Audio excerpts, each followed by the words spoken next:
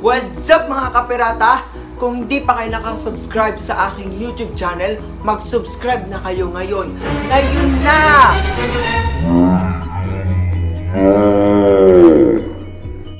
And for today's video, gagawa tayo ng 20 facts about me and mag-haul ako ng aking mga cases ng aking cellphone.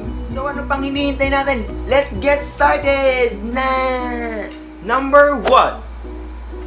My name is John Mark Belbes at my name ay my name history came from my my father's name and my mother name.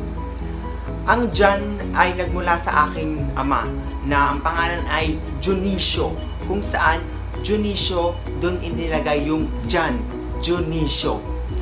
At yung Mark naman ay nagmula sa pangalan ng aking ina na Mark Maxima. Mark Maxima. Number 2. My birthday is September 13, 2000. Number 4.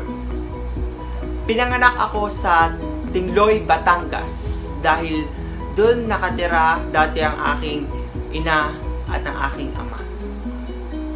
Number 5. Tatlo kami magkakapatid at ako ang bunso. Bunso. Number 6.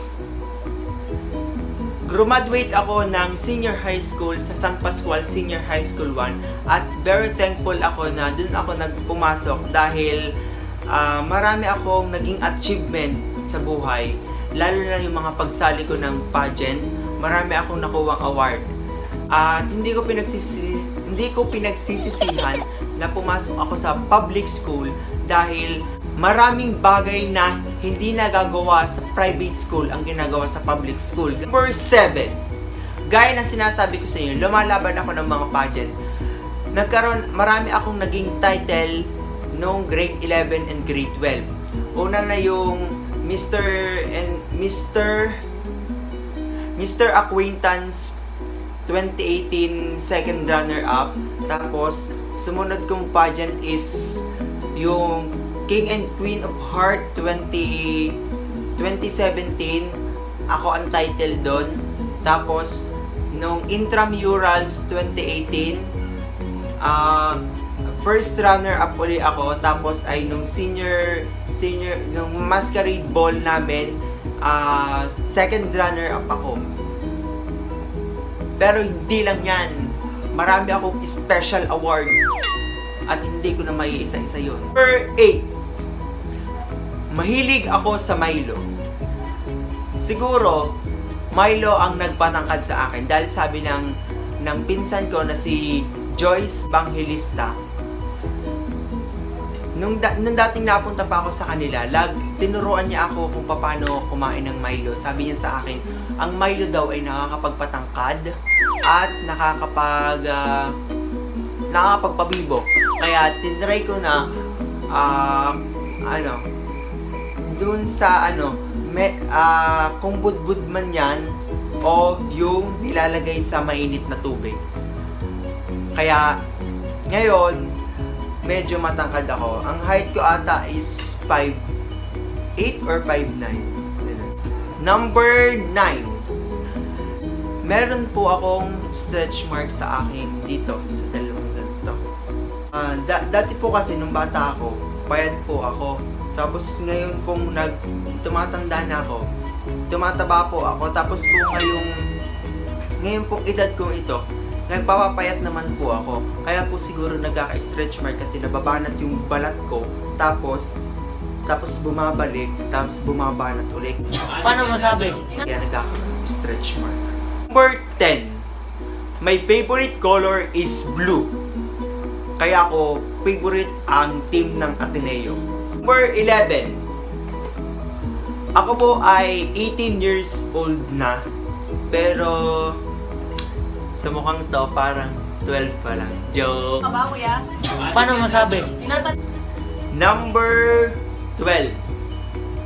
Mahilig po ako mag-pictures at mag-video. Kagaya nito, nagagawa po ako ng vlog. Um, siguro ito na po yung hobby ko na mag-picture at mag-video.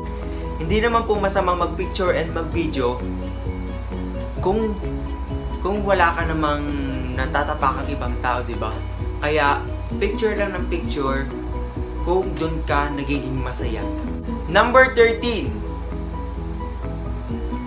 Nung bata po ako, gaya po na sabi ko kanina, payat po ako at saka po maitim. Pero ngayon po, nag, na, naiba-iba po. Tumaba po ako ng konti at saka po pumuti-puti po ako ng konti.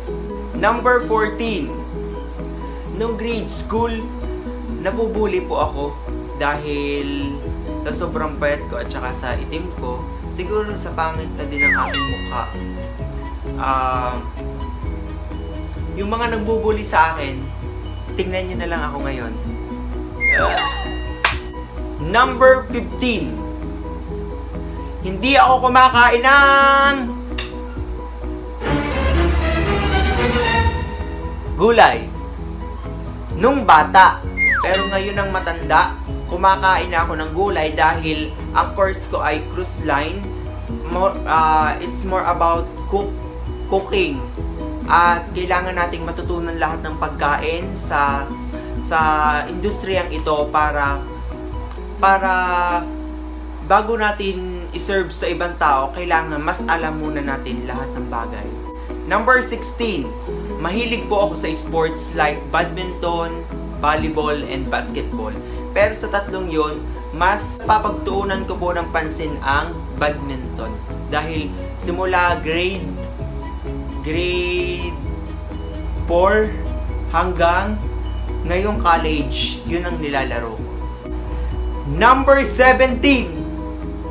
Takot ako sa Tagihawat. Takot ako sa Tagihawat. Ayaw na ayaw ko magkakatagihawat. Hindi ko alam kung bakit. Siguro nasanay lang ako na makinis ang mukha ko simula nung bata. Kaya siguro yun lang, sanayan lang. Pero matatanggal din naman yan. Number 18. Ang paborito kong pagkain ay sinigang na baboy man yan o sinigang na ano? Sinigang at lumpia. Lumpiang Shanghai ha, hindi lumpiang gulay. Lumpiang Shanghai. Number 19. Mabait po akong tao. Kung hindi nyo lang nalalaman, mabait po akong tao. Hindi po ako nakikipagbasag ulo gaya ng iba. Yung sa school, halimbawa, may nanloko sa'yo, papatulan mo na.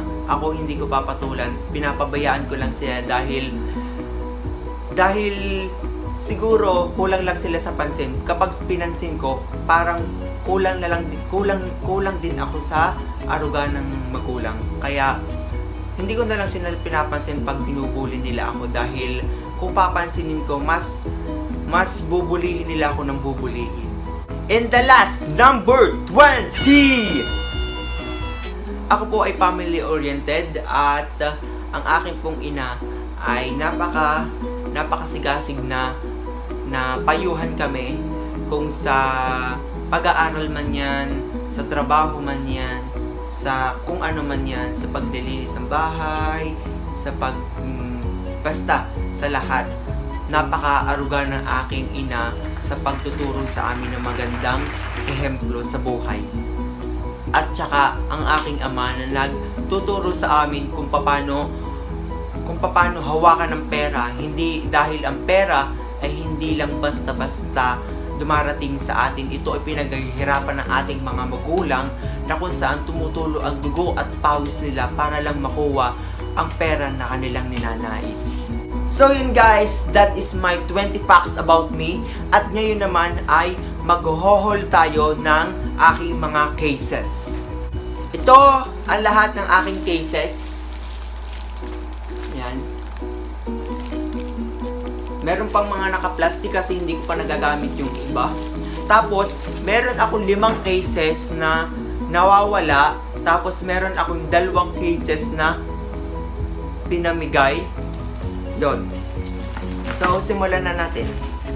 Ipapakita ko lang sa inyo ha, hindi ko na lang hindi ko na i-explain kasi hindi naman is, is sponsored itong video na to.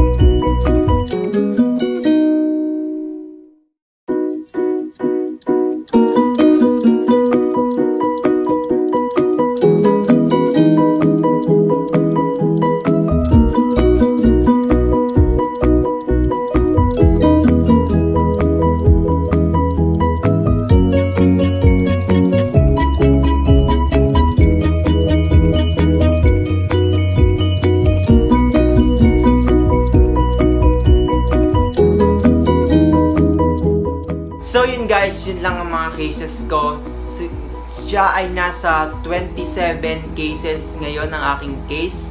At ah, siguro, pag naisipan kong ibenta ang iba o kaya ipamigay na lang yung iba. So, thank you guys for watching. I hope you enjoyed this video. Sana ano nyo pa akong subaybayan sa aking mga ginagawang video. At lagi nyo i-like ang button and i-subscribe nyo na ako kung hindi nyo pa ako nasusubscribe. Kaya, thank you guys! I always reminded you guys that it's okay if some people dislike you. Not everyone has good taste. So yun guys, thank you for watching. Appear!